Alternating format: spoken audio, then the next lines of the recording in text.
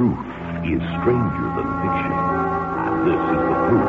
This is Ripley's. Believe it or not.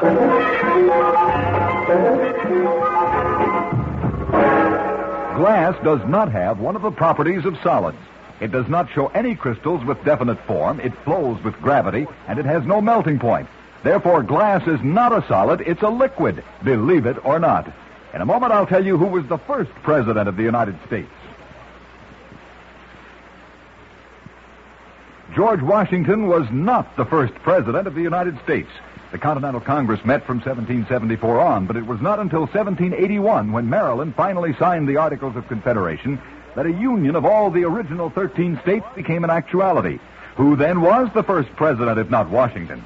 John Hanson, who signed for Maryland, was elected President of the United States in Congress assembled in 1781. Believe it or not.